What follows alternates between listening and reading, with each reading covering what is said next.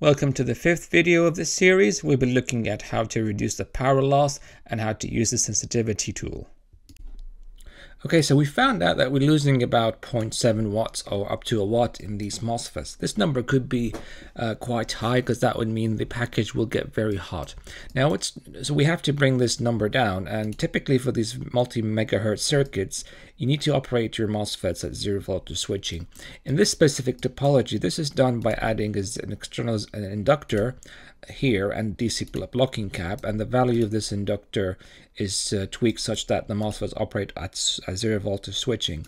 There is generally an, an, equation to determine the value of this inductor, uh, but uh, when you have a SPICE model that includes the output capacitance and the non-linearities, it's sometimes better to just do a sweep uh, over a certain range of values to determine which one gives you the, the lowest loss. So let's go ahead and do that. Let's set, set up a sweep and I've already set up my um, inductance uh, for the zero voltage switching inductor. I'm going to start from 100 nano to 500 nano in steps of 50 nano Henry. So let's uh, run this simulation. And we're starting to see some results. Notice we get we've got we have overshoots, undershoots in the switching uh, voltage, the switching waveform. And if we have a look at our average power loss in Q2, you can see that um, it starts at 1 watt for 100 nanohenries and then goes down as, as we expect and then starts to go up. No value here, it means the simulation has failed and for this particular point didn't converge. But that's okay because it seems here that the power is actually increasing. So we'll, we'll, we're looking at about 200 nanohenries um, to get the lowest loss in, in our MOSFET. Also from these waveforms you can see that we do have quite uh, large ringing on the switching waveform and we would also like to reduce that uh, by slowing the rise and fall time. Of course that will impact our power loss. So let's uh, change the value of the gate resistance now and do a sweep on, on the values for it. So um, I'm going to start, I'm going to add the gate resistance disable this one. So I'm going to start from 5 ohms to 50 ohms in steps of 5 ohms.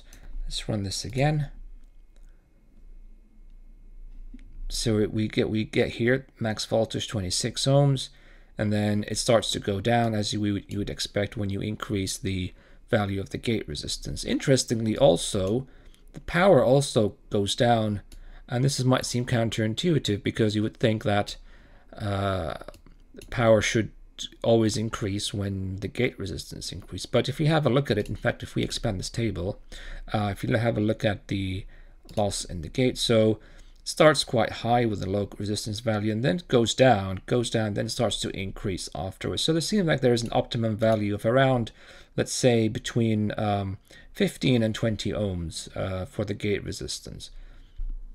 And now one last simulation to do is a sensitivity analysis. Um, I would like to know what happens if the parasitic inductances are, for example, reduced by 10% or increased by 10% depending on the layout. So I, I want to know what happens to if uh, L gate goes down, if L source goes down, and also um, there's also going to be a parasitic inductance here in the ZVS inductor. And so I want to know what happens if this goes down as well. So to do that, let's add in, let's do a sensitivity analysis and uh, enable sensitivity analysis by checking this box here. Go to settings and then pick the sensitivity tab. And now you can add parameters. You could either um, uh, include, uh, enable all resistors and inductors in your in your schematic, or you can pick specific uh, parts. So I'm going to pick, just uh, specific parts um, and components. So I'm going to add in my, uh, perhaps I would like to see what happens if R gate goes down as well. So I'm going to add that. I'm also going to add um, L source and I would like to add L gate and the LZVS as well. So um, I'm going to disable temperature. And here um, I'm going to say oh, what happens if R gate goes down by 10%. And so you just enter 0.1 and the same for, for all components, um, 0.1, 0.1.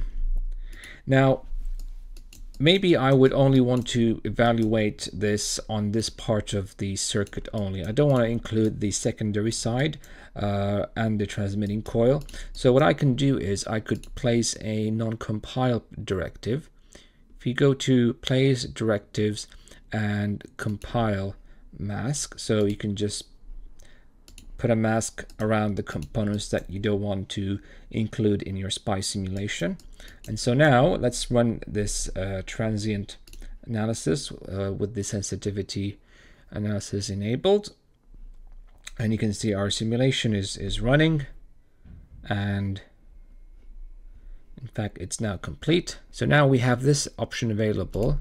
So the sensitivity results. So this tells us now is what happens to our power uh, loss in the transistor when uh, the, these components are reduced by 10%. And you can see here they've Altium has ranked this from the component which gives us the highest deviation. So the gate resistance actually gives us high, the highest deviation in the power loss, followed by LZVS, L source, and L gates.